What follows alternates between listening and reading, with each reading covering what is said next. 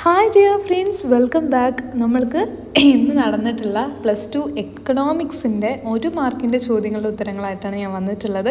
നമ്മൾ പറഞ്ഞ കുറേ ക്വസ്റ്റ്യൻസ് പല പല ചോദ്യങ്ങളുടേതായിട്ട് റിപ്പീറ്റ് ചെയ്ത് വന്നിട്ടുണ്ടായിരുന്നു. കണ്ടപ്പോൾ ഒത്തിരി എക്സൈറ്റഡ് ആയി. അപ്പോൾ നമുക്ക് ഓരോ ചോദ്യങ്ങളത് വെച്ച് നോക്കാം.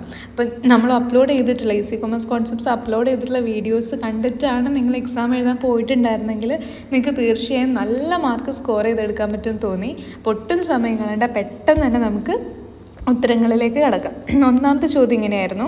Price elasticity of demand at all points along the horizontal demand curve അതായത് ഹൊറിസോണ്ടൽ ഡിമാൻഡ് കർവിലാണ് പ്രൈസ് ഇലാസ്റ്റിസിറ്റിയുടെ വാല്യൂ വരുന്നതെങ്കിൽ ഈ രീതിയിലാണ് വരുന്നതെങ്കിൽ എന്തായിരിക്കും ഡിമാൻഡ് കർവ് അല്ലെങ്കിൽ ആ ഒരു പ്രൈസ് ഇലാസ്റ്റിസിറ്റി എന്തായിരിക്കും എന്നാണ് ചോദിക്കുന്നത്. അപ്പോൾ ഈ രീതിയിലാണ് വരുന്നതെങ്കിൽ പ്രൈസ് ഇലാസ്റ്റിസിറ്റി എന്ന് പറയുന്നത് ഇൻഫിനിറ്റിയാണ് ഇൻഫിനിറ്റി എന്നാണ് നമ്മൾ പഠിച്ചിട്ടുള്ളത്. അപ്പോൾ ഓപ്ഷൻ ബി ഇൻഫിനിറ്റി ആണ് ഇതിന്റെ റൈറ്റ് ആൻസർ ആയിട്ട് വരുന്നത്. ക്ലിയർ അല്ലേ?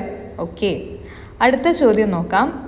When sorry which one of the following is true under perfect competitive market perfect competitive മാർക്കറ്റിൽ നമ്മൾ പഠിച്ചിട്ടുണ്ട് പ്രൈസ് ആണെങ്കിലും എ ആർ ആണെങ്കിലും എം ആർ ആണെങ്കിലും അതായത് പ്രൈസും ആവറേജ് റവന്യൂ മാർജിനൽ റവന്യൂ എന്തായിരിക്കും? ഈക്വൽ ആയിരിക്കും എന്ന് പഠിച്ചിട്ടുണ്ട്. എ ആർ ടേബിളും എം ആർ ടേബിളും പ്രൈസൊക്കെ വെച്ചുള്ള ടേബിളൊക്കെ എങ്ങനെയാണ് ചെയ്യേണ്ടതെന്ന് ഇന്നലെ പറഞ്ഞിട്ടുണ്ടായിരുന്നു. അപ്പോൾ നല്ല രീതിയിൽ അത് എഴുതിയിട്ടുണ്ടെങ്കിൽ നിങ്ങൾക്ക് അതിന്റെ പ്രോപ്പറായിട്ടുള്ള മാർക്ക് കിട്ടും.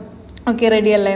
അടുത്ത question when income of a consumer increases demand for good X decreases then the good X is dash അതായത് സാധാരണ ഒരു കൺസ്യൂമറിന്റെ ഇൻകം കൂടുന്ന സമയത്ത് ആ ആൾക്ക് ഡിമാൻഡ് ഗുഡ്സിനോടുള്ള ഡിമാൻഡ് കൂടുകയാണ് ചെയ്യുക. കാരണം ഇൻകം കൂടുമ്പോൾ ഡിമാൻഡ് കൂടും. പക്ഷേ ഇവിടെ ഇൻകം കൂടിയപ്പോൾ എന്താ സംഭവിച്ചത്? ഒരു പെർട്ടിക്കുലർ ഗുഡിനോടുള്ള ഡിമാൻഡ് കുറയാണ് ചെയ്തത്. അപ്പോൾ ആ ഗുഡ് എന്തായിരിക്കും? ആ ഗുഡ് ഒരു ഇൻഫീരിയർ ഗുഡായിരിക്കും. ക്ലിയർ അല്ലേ? അപ്പോൾ ഓപ്ഷൻ ഡി ആണ് അതിന്റെ റൈറ്റ് ആൻസർ.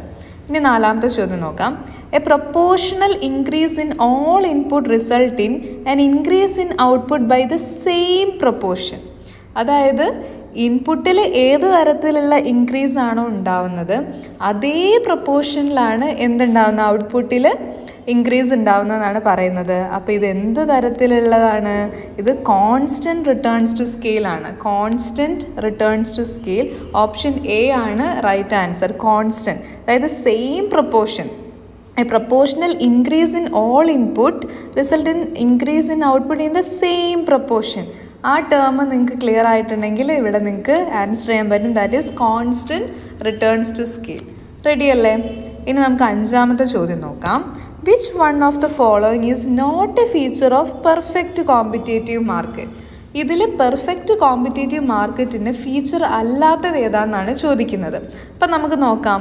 ഇപ്പോൾ പ്രൈസ് ടേക്കർ എന്ന് പറയുന്നത് പെർഫെക്റ്റ് കോമ്പറ്റേറ്റീവിന്റെ ഫീച്ചറാണ് ഹോമോജീനിയസ് ഗുഡ്സും ഫ്രീ എൻട്രി ആൻഡ് എക്സിറ്റും ഒക്കെ എന്താണ്?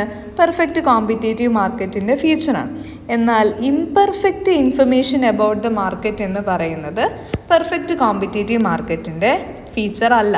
അപ്പം നമ്മൾ ഓപ്ഷൻ ഡി ആണ് ഇതിന്റെ ഉത്തരമായിട്ട് എടുത്ത് എഴുതേണ്ടത്. ക്ലിയർ അല്ലേ? ഓക്കെ അടുത്ത ചോദ്യം. The famous book written by John Maynard Keynes J M കെയ്ൻസിന്റെ വളരെ ഫേമസ് ആയിട്ടുള്ള ബുക്ക് ഏതാണ്? മാക്രോ എക്കണോമിക്സിൽ നിന്ന് വന്നിട്ടുള്ളൊരു ചോദ്യമാണ്. വെരി ഇമ്പോർട്ടന്റ് ക്വസ്റ്റ്യൻ ആണ്. എന്താണ്?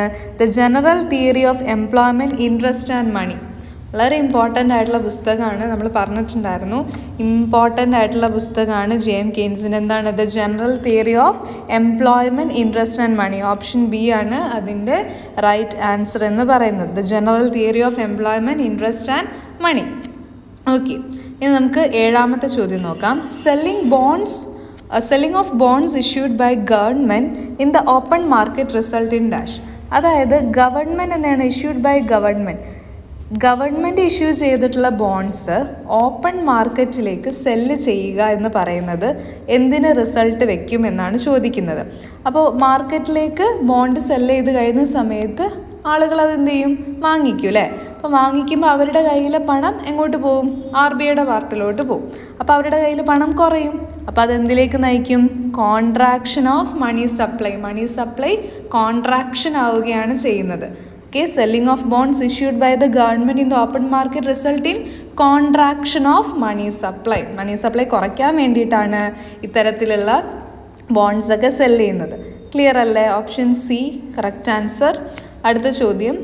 Ex ante consumption means ex ante consumption എന്ന് പറയുന്നത് പ്ലാൻഡ് കൺസംഷൻ എക്സ്പെൻഡിച്ചറാണ് കേട്ടോ പ്ലാൻഡ് കൺസംഷൻ എക്സ്പെൻഡിച്ചർ ആണ് എക്സാൻഡേ കൺസംഷൻ എന്നതുകൊണ്ട് ഉദ്ദേശിക്കുന്നത്. റെഡി നയൻത്ത് ക്വസ്റ്റ്യൻ നോക്കാം. Money supply in India regulated by ഇന്ത്യയിലെ മണി സപ്ലൈ റെഗുലേറ്റ് ചെയ്യുന്നത് ആരാണ്? അതിന്റെ റൈറ്റ് ആൻസർ എന്ന് പറയുന്നത് Reserve Bank of India R B I ആണ് ഇന്ത്യയിലെ മണി സപ്ലൈ റെഗുലേറ്റ് ചെയ്യുന്നത്. ക്ലിയർ അല്ലേ? ഇപ്പോൾ ഓപ്ഷൻ ഡി ആണ് ശരിയായ ഉത്തരം. ഇനി നമുക്ക് പത്താമത്തെ ചോദ്യത്തിലേക്ക് കിടക്കാം. ഈ ഒരു സെഷനിലെ അവസാനത്തെ ചോദ്യമാണ് production function means production function എന്നതുകൊണ്ട് എന്താണ് ഉദ്ദേശിക്കുന്നത്? പ്രൊഡക്ഷൻ ഫങ്ഷൻ എന്നതുകൊണ്ട് ഉദ്ദേശിക്കുന്നത് the relationship between input and output ഇൻപുട്ടും ഔട്ട്പുട്ടും തമ്മിലുള്ള റിലേഷൻഷിപ്പാണ് എന്ത്? പ്രൊഡക്ഷൻ ഫങ്ഷൻ എന്നതുകൊണ്ട് ഉദ്ദേശിക്കുന്നത്. ക്ലിയർ അല്ലേ? ഓപ്ഷൻ ബി ആണ് റൈറ്റ് ആൻസർ റെഡി അങ്ങനെ മൊത്തം നമുക്ക് പത്ത് ചോദ്യങ്ങൾ ഉണ്ടായിരുന്നു. പത്തെണ്ണം നിങ്ങൾ എഴുതണ്ട. ഏതെങ്കിലും എട്ടെണ്ണം മാത്രമേ എഴുതിയാൽ മതി. അപ്പോൾ എട്ടെണ്ണത്തിന് നിങ്ങൾക്ക് ഒരു മാർക്ക് വെച്ച് എട്ട് മാർക്കാണ് ഈ ഒരു ഫസ്റ്റ് പാർട്ടിൽ നിന്ന് നമുക്ക് കിട്ടും. ഒരു എസ് എ ക്വസ്റ്റിന്റെ മാർക്ക് തന്നെ കിട്ടും അല്ലേ? അപ്പോൾ നിങ്ങൾ ഏതൊക്കെയാണ് സ്കിപ്പ് ചെയ്തത്? ഓരോരുത്തർക്കും എത്ര മാർക്ക് കിട്ടി?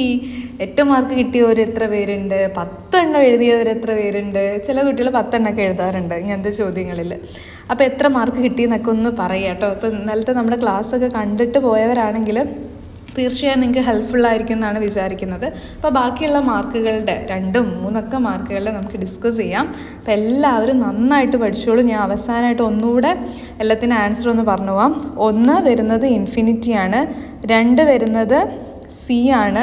P is equal to A R is equal to M R ആണ്. മൂന്നാമത്തത് വരുന്നത് ഇൻഫീരിയർ ഗുഡ് ആണ്. നാല് വരുന്നത് കോൺസ്റ്റന്റ് റിട്ടേൺസ് ടു സ്കെയിൽ ആണ്. അഞ്ച് വരുന്നത് imperfect information about the market ആണ്. ആറ് വരുന്നത് general theory of employment interest and money ഏഴ് വരുന്നത് കോൺട്രാക്ഷൻ ഓഫ് മണി സപ്ലൈ എട്ട് വരുന്നത് പ്ലാൻഡ് കൺസംഷൻ എക്സ്പെൻഡിച്ചർ ഒൻപത് റിസർവ് ബാങ്ക് ഓഫ് ഇന്ത്യ പത്ത് relationship between input and output simple അല്ലേ? ഓക്കെ അപ്പോൾ അടിപൊളിയാവട്ടെ. ഇനി നമുക്ക് മോഡൽ എക്സാമിന് വേണ്ടിയിട്ട് നന്നായിട്ട് തയ്യാറെടുക്കാം കേട്ടോ. അപ്പോൾ നമ്മുടെ ചാനൽ ഇതുവരെയും സബ്സ്ക്രൈബ് ചെയ്യാത്തവരാണെങ്കിൽ പെട്ടെന്ന് സബ്സ്ക്രൈബ് ചെയ്തോളൂ. നിങ്ങൾക്ക് തീർച്ചയായും യൂസ്ഫുൾ ആയിരിക്കും. Anyway thank you so much for watching